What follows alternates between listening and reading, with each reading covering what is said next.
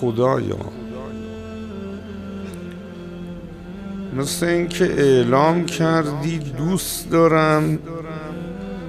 بعدیا تو بیای بین خودم و خودت اقرار بکنم نمی‌خوام به کسی بگی.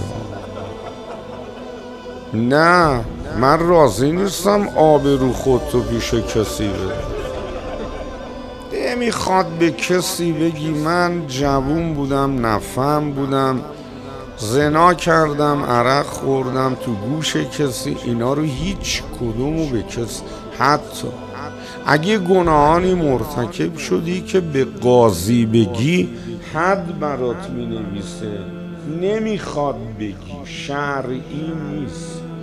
اقرار نکن. بهترین قاضی خودمم. کار منم بنده من حد زدن نی بخشیدن من شلاق نمیزم